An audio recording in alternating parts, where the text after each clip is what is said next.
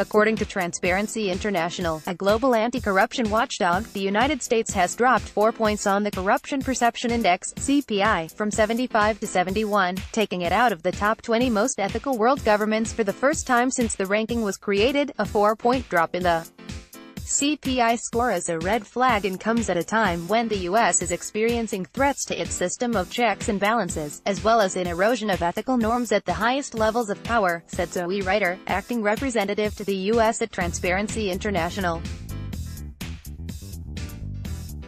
If this trend continues, it would indicate a serious corruption problem in a country that has taken a lead on the issue globally. This is a bipartisan issue that requires a bipartisan solution.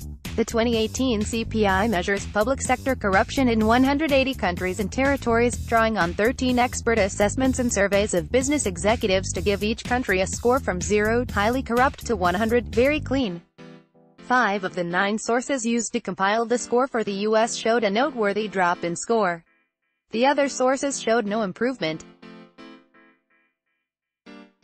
Since taking office, President Donald Trump has eroded the independence and integrity of America's public institutions at nearly every conceivable turn. He has been accused of enriching his businesses with his office, potentially opening himself up to illegal foreign emoluments.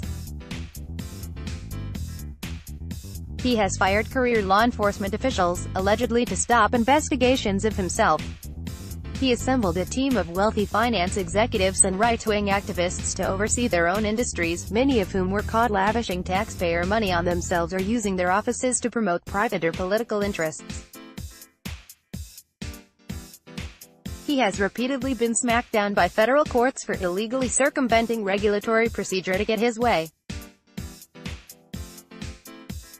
He has even gone so far as to shut down the federal government, jeopardizing hundreds of thousands of federal workers and millions of people reliant on federal programs, to try to bully Congress into granting him money for a border wall.